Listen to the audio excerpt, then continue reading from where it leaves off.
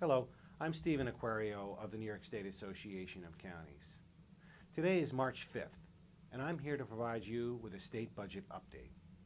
In January, Governor Cuomo submitted a budget to the state legislature. Since then, each of, each house of the legislature has been reviewing this budget, determining available revenues, and in fact has identified that there are $200 million in extra revenue above the governor's proposal. Next week is a critical week as each house of the legislature will put together their one house spending plans. That will provide direction for the houses to negotiate with Governor Cuomo to have an enacted state budget by April 1st.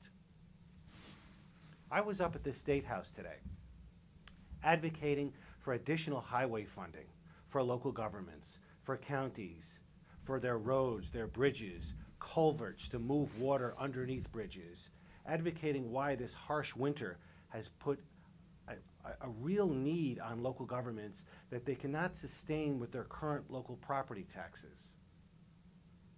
The halls of the State House were filled with special interest groups, each advocating, each petitioning your state representative to redirect state resources towards their particular purpose.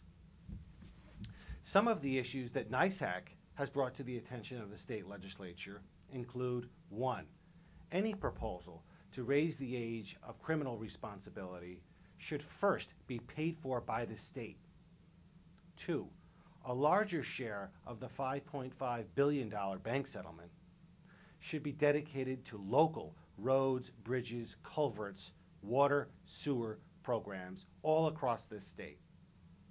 Three, broadband access must be extended to all areas of the state.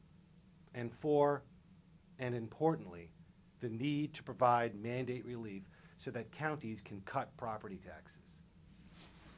Today we are asking you to please connect with your state representative to express these concerns and others that are important to you. It is clear that if we do not act, they will not act. For more information and supporting documentation on these issues and other important issues, please look to the NYSAC website at www.nysac.org. Thank you for your cooperation.